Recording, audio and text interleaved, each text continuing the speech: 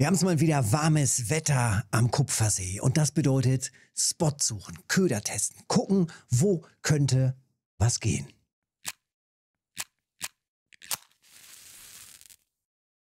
Also, rein hier. Testen, testen, testen. Und ich teste natürlich. Und äh, ja, die ersten Brocken sind da. Die ersten Kois sind da. Das ist natürlich schon mal wieder sehr, sehr schön, wenn das so losgeht. Und ja, ich bin natürlich gespannt, was hier noch alles reingeht. Die ja, Dinkelsbühler nehme ich auch gerne mit. Die äh, Köderkombi ist bekannt. Einfach mit Heilbutt und mit Königskrabbe. Ähm, ich hatte drei verschiedene ausgeworfen hier und die erste Reaktion war auf Heilbutt und auf Königskrabbe. Wenn die Fische das so wollen, dann kriegen sie Heilbutt und Königskrabbe. Kann man ja kann man ja liefern, ne? warum auch nicht. Jetzt haben wir natürlich gerade mitten in der Nacht. Bedeutet, die Situation ist ja zusätzlich nochmal schwierig. Also, da müssen wir jetzt natürlich nochmal gucken, was geht gleich in den Morgenstunden. Also gerade so 5, 6 Uhr rum, ähm, dann sollte es ja so langsam losgehen. Ich feuer jetzt aber konstant auch schon Futtermische rein. Immer wieder nachfüttern. Denn mittlerweile kann man ja schon fast sicher sagen, es läuft sehr gut am Kupfersee mit viel Futtermische. Also durchaus mal, ich sag mal so in Richtung 20 bis 30 Bällchen. Also 200 bis 300 Gramm an Futtermische scheint gar nicht so schlecht zu sein. Und dementsprechend immer mal wieder nachfüttern und reinhalten mit dem Futter. Ähm, lange Zeit, ja, lange Zeit braucht es häufig auch fürs Starten der Spots. Also, es braucht öfters mal ein bisschen Anlaufzeit. Und äh, ja, gerade auch hier unten oder in diesen tieferen Stellen hatten wir das ja schon mehrfach, dass man einfach auch mal fast eine halbe Stunde hier rumstand und es ging erstmal nichts. Und dann auf einmal geht es los und dann kommt so eine richtige Welle, bam, bam, bam, dann kommt Balanze auch einmal rein. Und äh, ja, das kann natürlich auch passieren. Jetzt im Moment hier bin ich, naja, es ist halt Nacht. Zwei Orange Ogon schon direkt rein. Das ist natürlich nicht so schlecht. Beides hier auf Heilbutt und Königskrabbe. Äh, 14, 14, also auf diese kleinere äh, Pellet-Kombination. Und ja, das sieht auch schon mal gar nicht so schlecht aus. Das nehmen wir doch gerne auch so mit, wie das hier so reingeht. Und äh, klar, gerade in der Nacht da ist halt meist nicht ganz so viel los. Wenn natürlich in der Nacht auch schon was reingeht, ist es immer ein ganz gutes Zeichen. Also nochmal ein bisschen herumzuppeln und dann gucken. Ich stehe hier, man sieht es natürlich gerade kaum, auf 15 Meter geklippt. Also äh, gucken wir mal eben. Ne, man sieht tatsächlich gar nichts hier. Ne? Wenn ich Licht anmache, wird es schlimmer. Also einfach, zeige ich gleich, wird ja gleich wieder hell. Na guck, es geht weiter bis zu dem kleinen Baum. Ich glaube, da hinten sieht man so ein bisschen, wenn man so ein bisschen über den Nebel guckt, jawohl, zu dieser kleinen Birke quasi gerade ausgeworfen. Und dann gib ihm. Na, guck hier.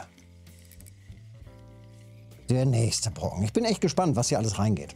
Wetterwechsel ist halt immer, immer kunterbunt. Erstmal ist es großes Oha, was jetzt? Und äh, na guck, Dinkelsbühler. Ja, mehr davon. Wäre doch was, hier schön mit dicken, fetten Boilies. Natürlich geht da die, die Frequenz runter, aber durchaus eine Option, wenn man hier mal groß reingeht. Deswegen bin ich jetzt natürlich zum Testen extra klein reingegangen. 14er Boilies nur verwendet.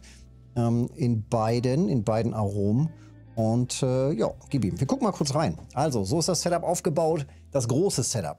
Mit äh, der Fiederroute, mit der Evia 6000, mit 32 Kilo Monoschnur wird natürlich nicht komplett verwendet. Aber mit dem großen Setup hier und der äh, 27er, mit dem 27er Vorfach oder auch LED-Core, ich könnte hier die Bremse dicht machen, ich kann hochziehen auf 29. Das ist schon ganz angenehm. Wenn man das Set einfach mal komplett ausnutzen kann, ist das gar nicht so verkehrt. Einser Haken hier und wie gerade schon gesagt, 14er, 14er weil erstmal zum Testen klein reingehen. Wenn ich jetzt gleich weiß, alles klar, da geht ein bisschen was, da geht ein bisschen mehr. 18er. Einfach die größeren Kombis nehmen und dann geht da auch ein bisschen mehr. Äh, Futtermische, gucken wir auch direkt rein. Ähm, Basic. Also einfach auf Mais. Ich habe auch gar nichts neu zusammengetüdelt. Die hatte ich einfach noch in der Tasche rumliegen. Deswegen habe ich die einfach jetzt verwendet. Maisbasis, Heilbutt, Heilbutt, Heilbutt, Königskrabbe, Heilbutt. Also es geht komplett auf Heilbutt. Wenn du noch eine andere Futtermische hast, die mit Heilbutt und Königskrabbe funktioniert, gerne auch mal unten in die Kommentare reinposten, ein bisschen austauschen untereinander, damit wir jetzt hier gerade bei den warmen Temperaturen schnell wieder einen effektiven Spot haben, der auch gut funktioniert. Oder auch einfach natürlich im Discord posten. Link zum Discord ist unterm Video.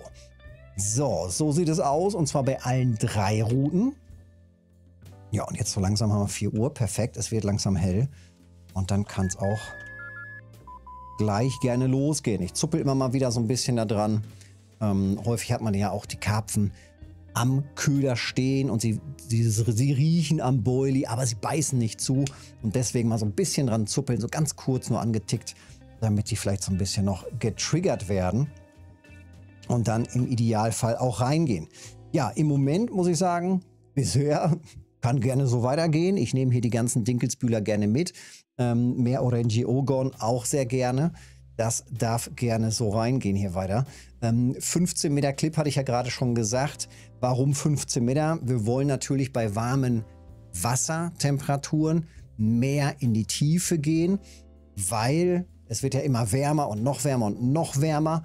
Und dann ist es ja an der Oberfläche dann auch irgendwann ein bisschen sauerstoffärmer vielleicht. Meine, in der, in der Tiefe ist es ja dann auch irgendwann, wenn es sehr tief ist, auch vielleicht ein bisschen sauerstoffärmer. Aber ja, wenn das Wasser halt sehr warm ist, zack, mal guck, dann ist es wahrscheinlich auch nicht so ganz sexy. Und äh, ja, bei kaltem Wetter, wissen wir ja mittlerweile, sind die Karpfen dann eher im ufernahen Bereich oder an der Oberfläche. Jetzt sieht man doch den Baum hier schon schön. Und äh, bei warmem Wasser, dann, ja genau, bei warmem Wasser geht es dann halt eher dann doch eher ein bisschen mehr in die Tiefen. Deswegen, wie gesagt, jetzt hier 15 Meter Entfernung an der Stelle. Und wir sind hier an der Stelle hier unten. Also 15 Meter. Ähm, da sind wir gut über die Hälfte. Also ich denke mal, ich bin hier grob in dieser Area. Ob das hier an der Kante ist oder hier knapp davor. Also grob in diesem Bereich. Ähm, ja, in diesem Kantenbereich. Und ich glaube, das passt ganz gut. Also einmal von der Ausrichtung her, ne, von dem Winkel, dass wir hier so in diesen, zu diesem Baum ungefähr werfen. Ähm, nicht so ganz auf die Spitze. Und äh, ja, auch dieser Kantenbereich. Das passt schon. Es ist immer so ein bisschen ungewohnt, ne? weil die Map halt hier so klein ist, dass das eben dann mit 15 Meter schon so weit ist. Ja, so sieht es aus. Jetzt heißt es natürlich testen, testen, testen. Ne? Geht hier noch ein bisschen mehr? Geht hier richtig was rein? Äh, ist hier ein bisschen was auf Frequenz angesagt? Und äh, vor allem natürlich, wie lange bleibt das Wetter denn jetzt warm, beziehungsweise das Wasser? Wie lange haben wir jetzt das warme Wasser? Das ist natürlich immer die große Frage. Und äh, lohnt es sich überhaupt, hier sich jetzt wieder darauf einzustellen? Normalwasser hatten wir jetzt ein paar Wochen. Zwei, drei, also das, das war jetzt schon relativ lang. Und dementsprechend wäre es natürlich ganz nice, wenn das jetzt länger so bleibt, dass man dann wieder ein bisschen suchen kann, sich ein bisschen darauf einstellen kann und wieder ein bisschen mehr experimentieren kann, beziehungsweise wenn man denn dann schon was rausgefunden hat, dass es dann halt auch ein bisschen länger so bleibt. Ne? So, was haben wir jetzt hier? Leicht, leicht, leicht, nichts Großes. Na guck. 4 Kilo Dinkelsbühler. Also die Dinkelsbühler scheinen hier tatsächlich reinzugehen. Gute Frequenz. Das ist nicht so schlecht. Das kann man mal machen. Also, direkt wieder raus hier. Guck mal, da geht es direkt weiter. Sehr schön. So soll das sein in den Morgenstunden. Genau so. Gleich schön durchballern hier. Bis, äh, zack, bis 7, 8 Uhr, beziehungsweise eigentlich kann man durchziehen bis ungefähr 10 Uhr. Nach, dann wird es so langsam weniger, weniger, weniger in die Mittagszeit rein und dann so ab 16 Uhr nochmal Gas. Zur Mittagszeit nehme ich dann meist das PVA nochmal ein bisschen runter, gebe dem Ganzen mal so ein bisschen eine Pause und dann wieder rein. Ja klar, die Karauschen dürfen natürlich auch nicht fehlen. Ich warte auch schon auf den F1 Super Freak. Nee, F1 ohne Super Freak. Der F1 Karpfen darf natürlich auch gerne mit rein. Aber ich nehme natürlich auch einen Super Freak. So, ja, so viel dazu. Ich würde sagen, das ist es, ne? Kurze Info, kurzes Video, kurze News zum Spot. Es ist warm, ihr Lümmels. Und ja, auch bei warmem Wetter geht natürlich noch was am Kupfersee. Also rausziehen, Petri nachmachen, testen, probieren. Wenn es dir geholfen hat, Daumen da lassen, Kanal abonnieren nicht vergessen, hilft mir mega. Und dann sehen wir uns im nächsten Video oder im Livestream montags, mittwochs, freitags immer komplett mit RF4 und an den anderen Tagen bisschen RF4 und zurzeit sowas wie LS22 gerade. Bis dahin, Petri.